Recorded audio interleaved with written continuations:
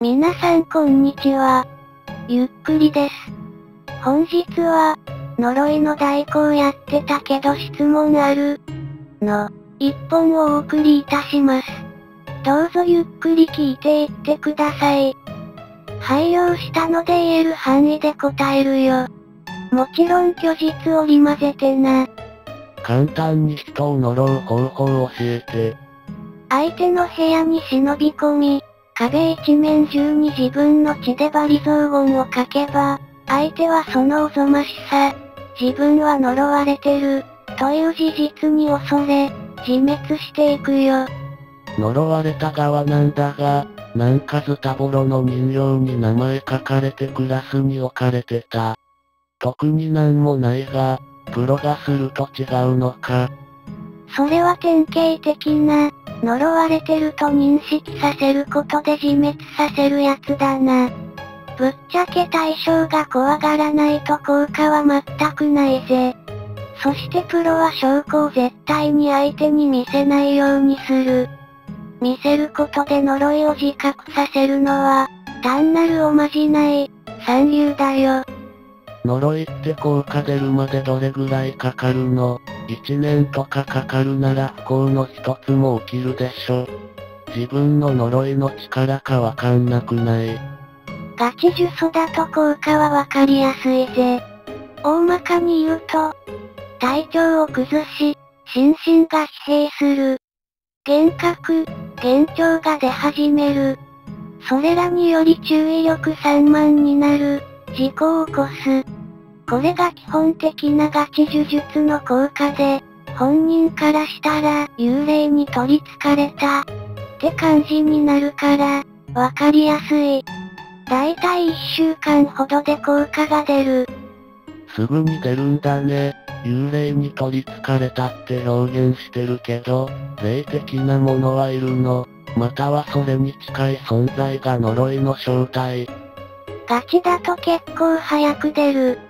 と言っても、相手の健康状態、気の強さによるけど、なかなか効果が出なかったら、もっと強い方法でやる。商売柄、幽霊はいるよって言ってたけど、実際にはそんなもんいねえ。すべては生きてる人間が自分で勝手に見る幻覚か、生きようなどの呪いだわ。呪詛返しされたらどうすんの？素人の呪詛返しなんてへでもないし、世の霊能者様はみんな詐欺師のドム脳なんで問題ない。もっとも、霊能者じゃない、術者が敵に回るとやばいけどな。その場合は、測定を引くのが鉄則。呪い返しというのは、要するにこっちの呪いをそのまま返すわけだから、返されたらその標的を別に反らせばいいだけだからな。そのために小動物を飼ってる奴は多い。何かあったら、動物たちに呪詛が行くわけだ。術の効果の加減できるんだね。怪我から殺すまでできるって感じなのか。小動物をよりしろ、にして避けるんだね。依頼してくる人ってどんな人がいる？あと代金はいくら取ってるここは勘違いされると困るから言っとくけど、できるのはあくまで呪詛を送り込んで弱らせる、だけなんだ。呪いだけで殺せる人間は見たことがない。それに、やっちまったら業を背負い込むことになるから、適当な頃合いで切り上げるぜ。さらには、癒し専門の呪術者の仲間もいて、そいつがターゲットを癒すという至れり尽くせりだ。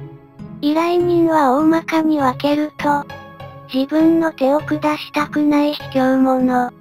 呪いしか残されてない追い詰められたやつ。最初から疑ってかかってる冷やかし。って感じだな。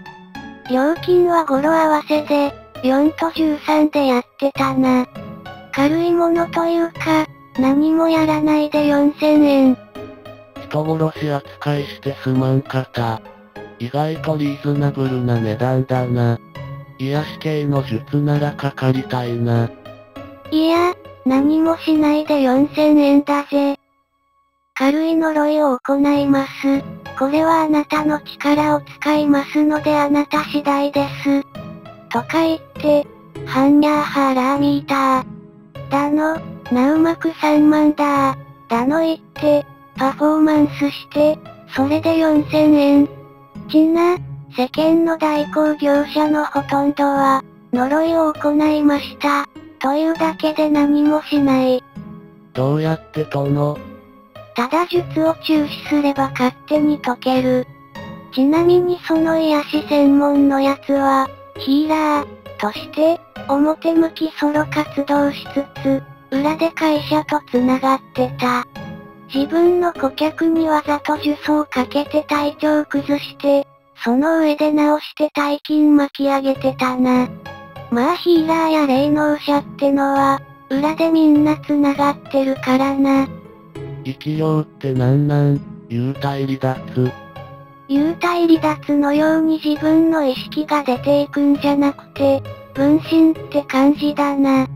憎いとか痛いとか苦しいとか欲しいとか、そういう負の感情爆発すると、自分のエネルギーがちぎれて、執着の対象に向かって飛んでいく。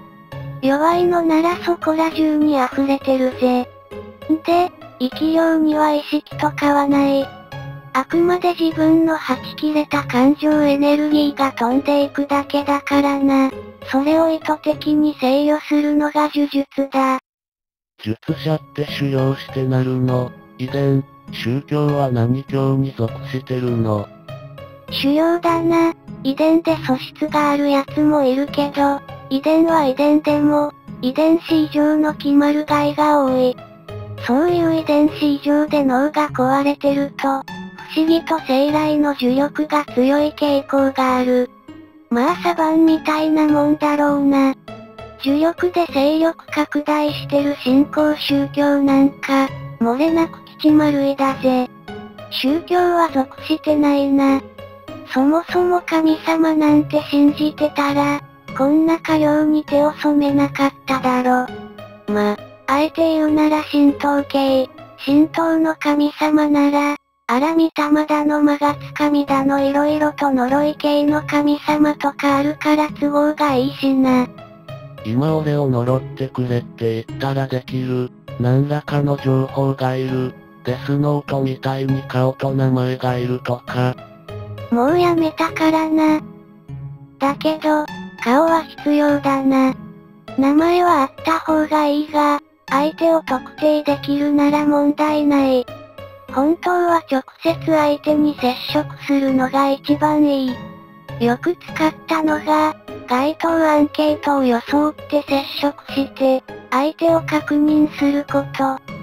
ほう、じゃあやろうと思ったら芸能人と関われてる人はできるんだな。多いよ芸能界関係。芸能人の顧客もいたしな、ぶっちゃけ。ぼかしていいからどんな芸能人いた？とにかく上に上がりたい地下アイドルとか、中堅以下の連中だったな。とにかく上が目障りで仕方ない連中。大御所は意外とこの手の依頼はしてこないんだが、大御所連中はむしろ防御を欲しがってるのが多いな。なのでヒーラーや霊能者と住み分けしてる感じだ。無論、裏で繋がってるので、下の連中が、大御所の〇〇を呪いで潰してほしい、と言ってくると、その情報を霊能者に高く売るわけだ。そして霊能者がまた信用されるって寸法だった。まあ大物がリスクを課してやる必要ないよな。つまらんこと聞いてしまったな。彼らには権力と金という武器があるからな。それに、ああいう邪気渦巻く芸能界で上り詰めた連中って、霊的防御が強い連中ばかりなんだ。よく芸能人にはオーラがあるって言うけど、まさにそれ。強力なオーラに阻まれることが多いし、下手に気づかれたら、雇われた術者からの反撃食らうから手を出さないに限る。端的に言って、相手に自分は呪われている、と思わせて、精神を害する、ヒオカルト的呪い。実際に念を飛ばすといったようなオカルトな呪い。この二つがあると理解しておけそんな感じ。で、この業界の大半は前者しか使えない連中ばかりだが、しかしそいつらの手腕もまた馬鹿にできないし、手を組むととても便利だったりする。信頼関係は皆無だけど。最も危機を感じた事件は何？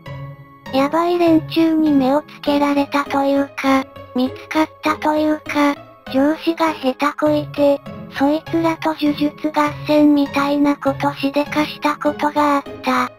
新興宗教に、アドバイザーというかコンサルタントというか、そういう感じで雇われたんだけど、その信者の家族が、そいつらに除霊を依頼して、客の取り合いみたいになって、そこから色々あってうちの会社は潰れた。呪術合戦詳しく。長くなるので少しずつ書いてく。宗教の信者が治癒の術を求めてきたわけだが、しかしうちらは呪詛専門。仲間のヒーラーは無関係、という体だし、新興宗教とは相性悪いので使えない。なのでそのヒーラーからのアドバイスを受けつつ、治癒の真似事を上司はやってたけど、真似事なんで、効果はほとんどない。そもそも上司は攻撃専門なので相性悪かった。そうこうしてるうちに、その信者の家族が別の術者に依頼したわけだ。切羽詰まって手当たり次第だったんだろうな。その宗教も、その信者は洗脳できてても家族まで完全掌握はできていなかった。俺たちだけなら、そこで手を引くのがセオリー。去る者は追わず、深追い現金。触らぬ神にたたりなし、藪をつくな蛇が出るぞ。しかしその宗教は欲を書いてたわけだ。宗教ってやだねえ強欲で。でも上司たちは見通しが甘かった。霊能者も宗教も、詐欺師か妄想教ばかりで、実力者なんていない、という経験から、鷹をくくってたんだ。どうせその家族が探した霊能者だかも、無能な詐欺師に違いないと。ところが、本物をそいつらは探し当ててた。その信者の重い病気をあっさりと治してしまい、信仰宗教。ややこしいので影響としておくが、影響の面目丸つぶれ。このままでは権威に傷がつくと思った影響幹部は、会社に依頼をしてきた。ターゲットは、元信者とその家族。我ら教団に逆らい、抜け出したから罰が降りたのだ。という風にやってくれと。お約束というかなんつうか、バカだなぁと思ったけど、俺は。